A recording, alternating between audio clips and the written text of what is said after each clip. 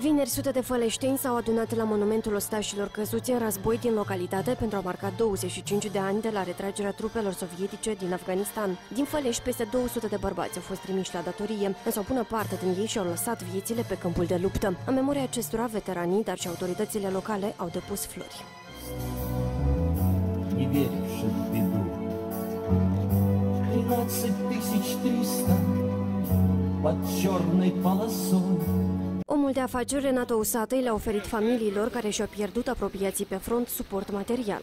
Я принял решение по 3000 лей выделить э, семьям погибших. Eu am decis să ofer pentru familiile celor decedați în Afganistan câte un ajutor bănesc în valoare de 3.000 de lei. Am auzit despre dorința a doi bărbați care au rămas invalizi de pe urma războiului de a avea un automobil pentru persoane cu handicap. Le-am donat câte o mașină de tip Dacia. Să le materializez visul a fost un gest de onoare pentru mine. Оказывается, эти автомобили, они ждут более 20 лет. Поэтому для меня это как бы, ну, дело чести. Businessmanul susține că ostașii merită a fi luați în vizor nu doar la evenimente speciale, de aceea în preajma zile de 23 februarie a decis să acorde o mână de ajutor veteranelor celui de-al doilea război mondial, inclusiv participanților la blocada Leningradă.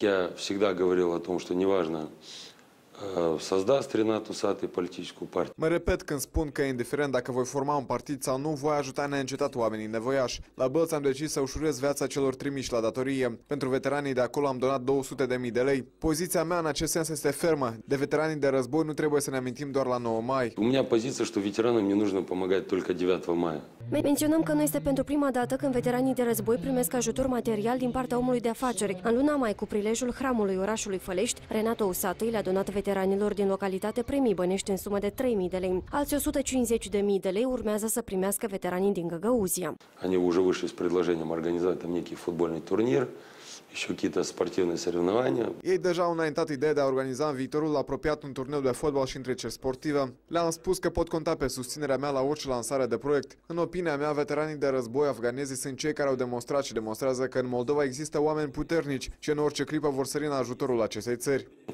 которые в любой момент станут на защиту молдавской государственности. Inga Ciobotar, Iurie Cuțu pentru Cotidian.